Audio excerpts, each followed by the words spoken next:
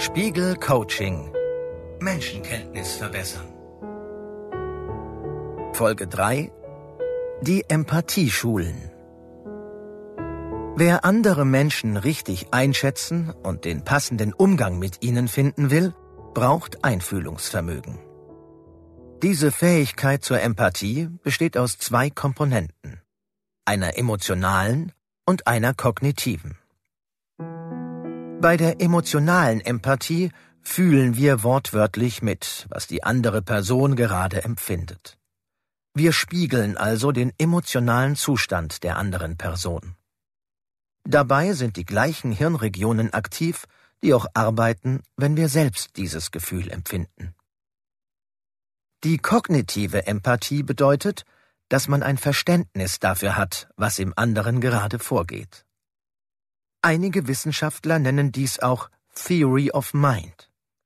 Der Begriff bedeutet, wir entwickeln im Laufe unseres Lebens eine Theorie darüber, wie andere Menschen denken, fühlen und handeln, was sie motiviert oder abhält, bestimmte Dinge zu tun. Wir sind in der Lage, uns in sie hineinzuversetzen. Beide Elemente der Empathie können Sie trainieren. Eine Übung beschäftigt sich mit dem Einfühlen, die andere damit, die Perspektive der anderen Person einzunehmen. Übung zur emotionalen Empathie. Andere nachahmen. Wer die Körperhaltung anderer übernimmt, spürt oft sofort, wie der andere sich gerade fühlt und wie er tickt. Das können Sie nutzen. Denken Sie an eine Person, die Sie kennen mit der Sie häufig zu tun haben, die Sie aber nicht wirklich verstehen.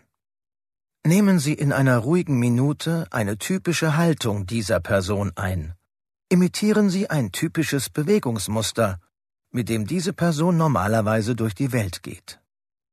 Bei einer herrischen Kollegin imitieren Sie deren forschen Gang und laufen so ein paar Schritte durchs Zimmer. Bei einem misstrauischen, kleinlichen Nachbarn nehmen Sie dessen Körperhaltung ein. Beobachten Sie sich. Welche Gefühle, welche Gedanken haben Sie in der Haltung? Wie sehen Sie sich und die Welt? Rufen Sie sich diese Erkenntnisse in Erinnerung, wenn Sie das nächste Mal dieser Person begegnen. Oft fühlt man zum Beispiel, dass aufrechte, raumgreifende Leute auch viel Anspannung in sich haben und befürchten, sich nicht behaupten zu können. Experimentieren Sie mit dieser Technik. Im Alltag kann es oft reichen, die Haltung des anderen nur andeutungsweise einzunehmen, statt sie expressiv nachzuahmen. Auch das fördert das Einfühlungsvermögen. Übung zur kognitiven Empathie. Andere Positionen einnehmen. Denken Sie an eine Person aus dem weiteren Umfeld, die Sie nicht gut kennen, deren soziale Situation Ihnen eher fremd ist und über die Sie sich gelegentlich ärgern. Es kann der Verkäufer im Kiosk, die Zahnärztin oder die Abteilungsleiterin sein. Konzentrieren Sie sich nun auf diese Person und nehmen Sie im Geiste die Rolle ein, in der diese Person agiert. Versuchen Sie sich vorzustellen, wie sich jemand in der Rolle des Chefs, des ungelernten Arbeiters oder der Ärztin fühlt.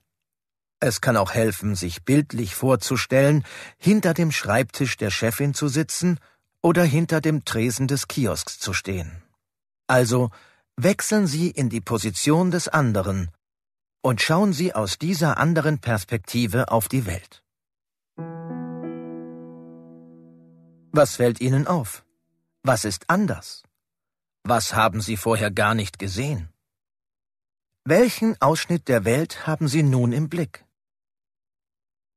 Überlegen Sie, wie diese Faktoren die Gemütslage und Sichtweise Ihres Gegenübers mitbestimmen. Und versuchen Sie bei der nächsten Begegnung daran zu denken. Reflektieren Sie nach ein paar Tagen, wie es Ihnen mit den Empathieübungen gegangen ist. Haben Sie das Gefühl, andere besser zu verstehen? Fühlen Sie sich Menschen ein bisschen näher, die Ihnen bisher weit weg erschienen? Hat das Einfühlungsvermögen den Kontakt zu anderen Personen verändert? Falls Sie mit diesen Übungen etwas anfangen konnten, lohnt es sich, diese über die gesamte Zeit des Coachings weiterzuführen. Denn wer täglich seine Menschenkenntnis trainiert, vermehrt sein Wissen über typische Verhaltensmuster und täuscht sich weniger in anderen. Wie andere Menschen ticken, welche unterschiedlichen Denkstile sie haben, damit beschäftigt sich die nächste Folge des Coachings.